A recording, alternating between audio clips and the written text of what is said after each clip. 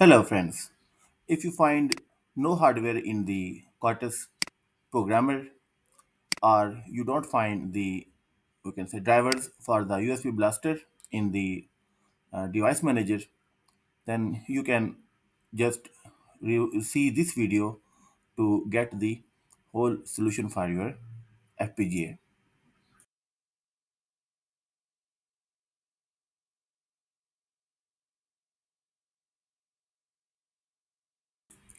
So the step one is just to press and hold the shift key on your keyboard and then go to the uh, restart to restart your system.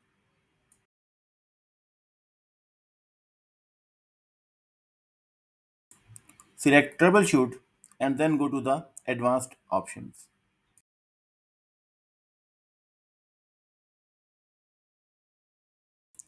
In advanced options, just select the startup settings.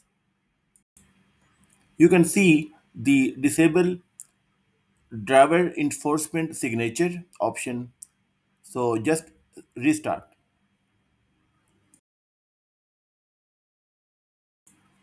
Just press 7 to disable the driver enforcement signature.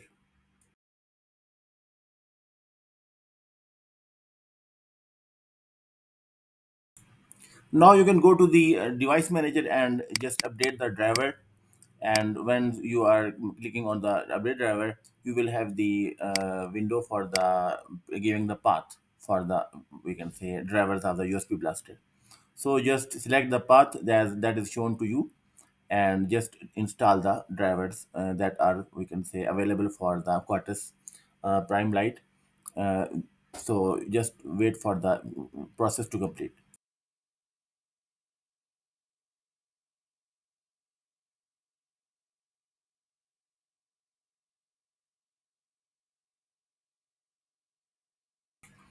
Just select install this driver software anyways.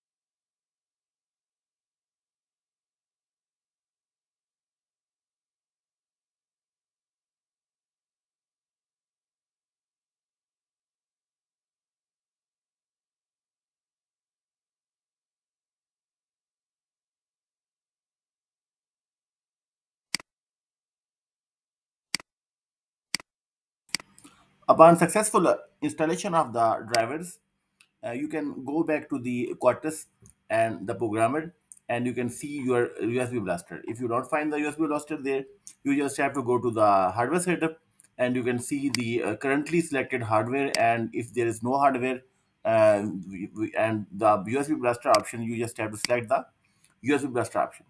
And when you have selected the USB blaster option, then just close and you will have the your board uh, ready for the we can say starting of the program